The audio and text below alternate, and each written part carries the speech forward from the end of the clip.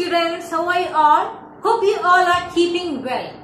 So in the last class we discussed about the first question that the king had. Can you remind which was the first question? Yes. What is the right time to do something? And the king got many answers from the whole kingdom. But he was not at all satisfied. He was not satisfied with that answers, right? Now moving on, all of you take your textbook page number 8. Page number 8.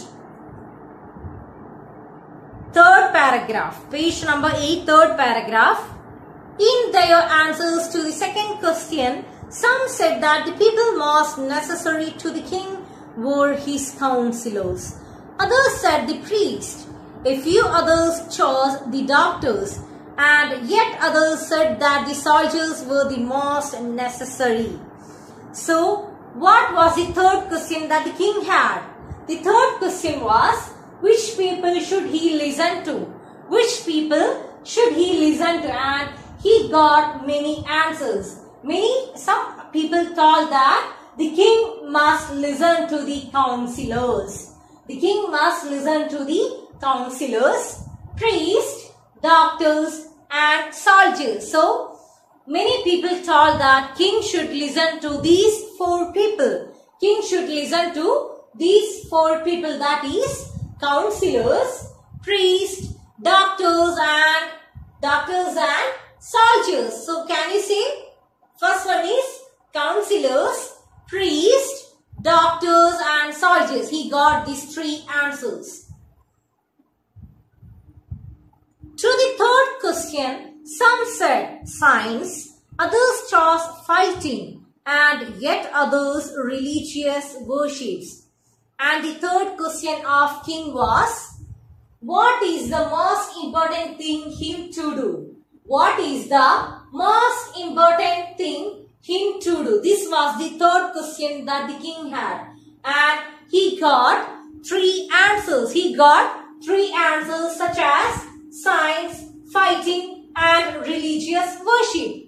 Science, fighting and religious worship. So, the king should do these things. That means the king should do science or the king should do fighting or king should do religious worship, religious things. So, these are the three answers he got for his third question. As the answers to his questions were so difficult, the king was not satisfied and gave no reward.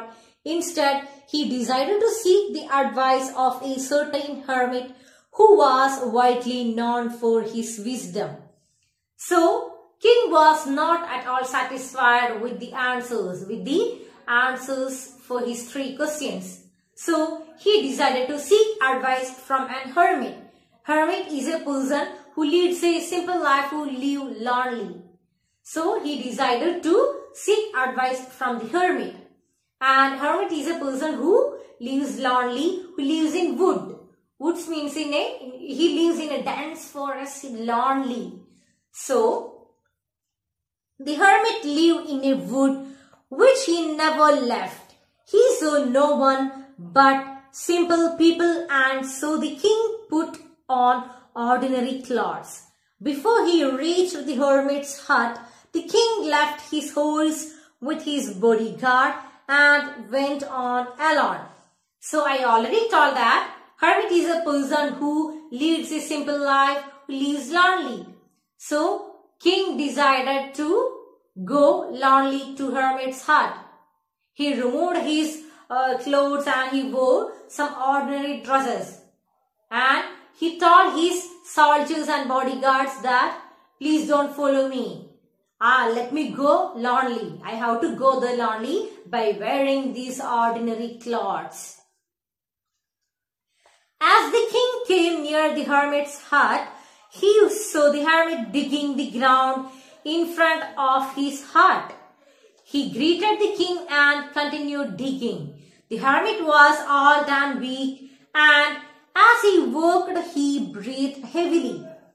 When king reached the hut of hermit, what did the hermit was doing? Yes, he was digging the land. He was digging the land using a spade. Then by seeing the king, Hermit just greeted, hello, hello, how are you? Just greeted him and Hermit continued his work. He just continued digging the land. The king went up to the hermit and said, I have come to you, wise hermit, to ask you to answer the three questions. How can I learn to do the right thing at the right time? Who are the people I need most? And what affairs are the most important? So, the king asked the hermit, I have three questions and this was the three questions. The first one is, what is the right time to do something? And second one is, which people should I listen to? And the third one is, what is the most thing, important thing for him to do?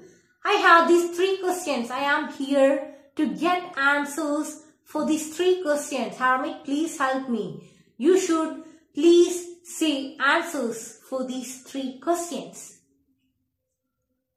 The hermit listened to the king but did not speak. He went on digging. You are tired, said the king. Let me take the spade and work in your place. So, the hermit listened, just listened to the questions of the king.